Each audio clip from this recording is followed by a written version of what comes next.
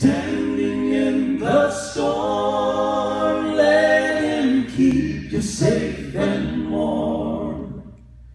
Jesus is your shelter.